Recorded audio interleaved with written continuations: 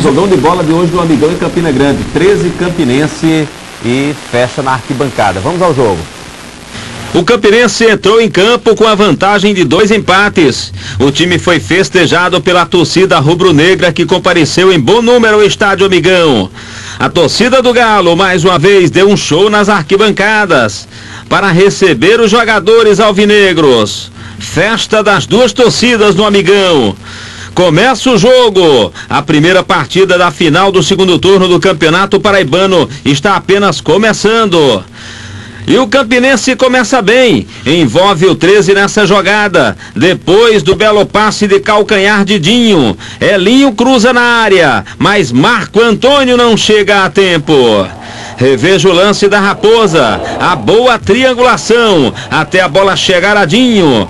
O passe de calcanhar, e Elinho cruza. Boa chance para o Campinense no início da partida. O Campinense está bem no jogo. Aqui a Raposa rouba a bola e Marcos Mendes puxa o contra-ataque. Na tabelinha na entrada da área, Dias toca, mas Marco Antônio está impedido. Depois do lançamento do lateral Nailton, a zaga do 13 falha. Marco Antônio domina, faz boa jogada, mas erra na hora de fazer o passe para Elinho. Érico está atento e faz a defesa. Agora Nunes ganha na dividida e começa mais uma boa jogada do Campinense. Ele toca Pradinho que faz boa jogada e deixa para Elinho que lança. Depois da bola na área, Marco Antônio não chega a tempo de novo. A primeira boa jogada do 13 surge com o atacante Beto. Ele recebe o passe na entrada da área, ajeita para a perna direita e quase acerta o ângulo do goleiro João Carlos. Vamos ver novamente. O bom lance do baixinho Beto. Ele domina e quase acerta o gol. Adelino puxa o contra-ataque do Galo. Ele tenta o passe para Beto. Depois vê a subida de Wagner Diniz pelo lado direito do ataque do time 13 ano. Da Silva recebe e toca a Beto, que mesmo marcado na área, ele tromba com os zagueiros e chuta forte. João Carlos, bem colocado, faz a defesa. Esse lance a gente vê outra vez aqui na tela da Correio. Que bom lance do atacante Beto. Agora a jogada é entre Beto e Maurício. Depois do bom passe, Beto tenta passar, mas é derrubado por Marcos Mendes. Veja novamente a falta forte do jogador raposeiro. A bola vem do meio-campo.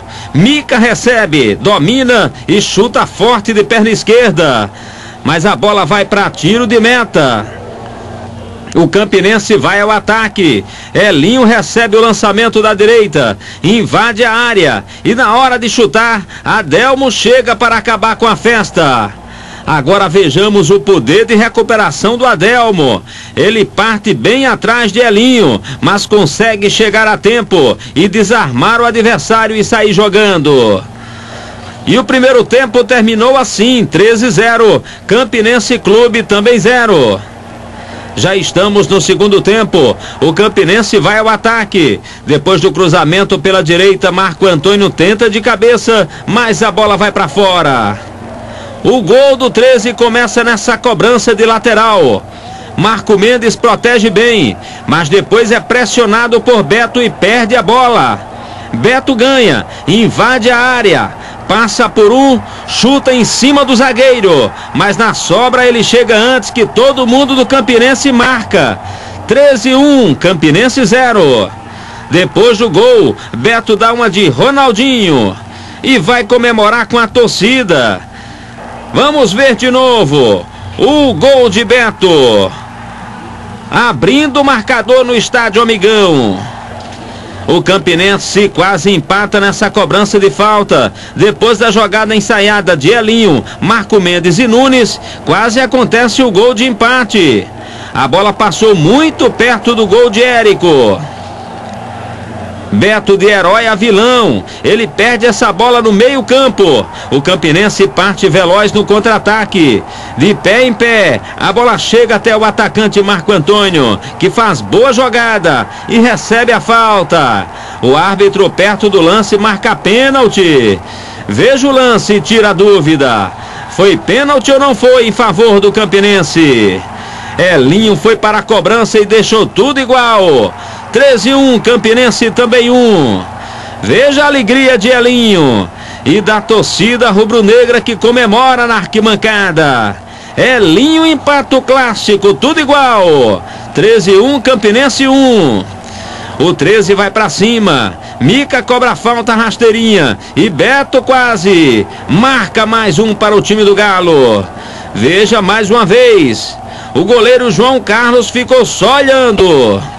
Marco Antônio faz boa jogada pela esquerda. Faz o drible e consegue o escanteio para a Raposa. O Campinense ataca agora pela direita. Depois do cruzamento, Adelmo não domina. E depois do chute, Érico faz a defesa. Maurício recebe no setor de meio campo, dribla para a perna esquerda e chuta forte. João Carlos faz grande defesa e bota para escanteio. Veja de novo o chute de Maurício e a grande defesa do goleiro João Carlos. O 13 cobra a falta. A bola vai de pé em pé. Adelmo, depois Rogério até Wagner Diniz, que puxa o Galo ao ataque. Ele faz excelente passe até Rafael. Na entrada da área, ele toca para Maurício, que acerta um belo chute no canto esquerdo de João Carlos. O 13 de novo na frente. Maurício comemora com a torcida. O Galo agora tem dois. O Campinense tem um. Festa na arquibancada da torcida do Galo. A Raposa não desiste. Depois do lançamento na área, o lateral Dinho domina, mas desperdiça a chance do gol de empate. Agora é Marco Antônio que recebe. Ele procura espaço e chuta de perna esquerda para a defesa de Érico. O Galo vai tocando a bola. Wagner Diniz recebe, faz boa jogada e lança Rafael, que avança na área e chuta forte. João Carlos de novo faz a defesa e evita o que seria o terceiro gol do 13. E o terceiro gol do Galo sai nessa jogada. Depois do cruzamento, Adelino aparece de cabeça para marcar. 13-3, Campinense 1. Veja como a bola vai mansinha, mansinha no gol de João Carlos. Adelino, artilheiro do Galo, fazendo a festa da torcida do 13. O atacante Beto ainda teve a chance do quarto gol. Ele driblou até o goleiro João Carlos, mas chutou para fora. Final de jogo, 13-3, Campinense 1. No próximo domingo, o 13 pode até perder por um gol de diferença, que mesmo assim conquista o título de campeão paraibano de 2005.